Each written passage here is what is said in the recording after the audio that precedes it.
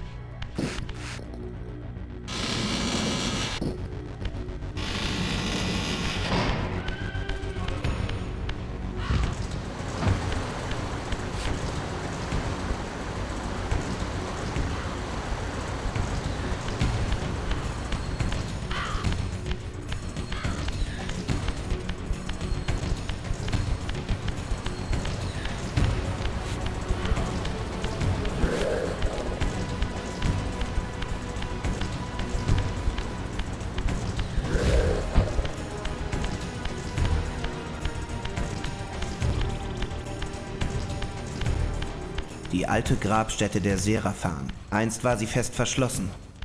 Jetzt aber, ausgeplündert während der Unruhen in Nosgod, liegen ihre Geheimnisse offen da. Zur Zeit von Vorador, Jahrhunderte vor der Erschaffung Kains, kämpften die Seraphan-Kriegerpriester einen erbarmungslosen Kampf gegen die Vampirstämme Nosgods. Beseelt von dem Wissen um die Gerechtigkeit ihres Kampfes, begingen sie unaussprechliche und wahllose Akte der Gewalt.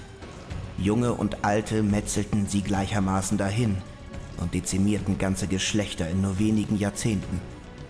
Nun liegen ihre aufgebahrten Hüllen hier,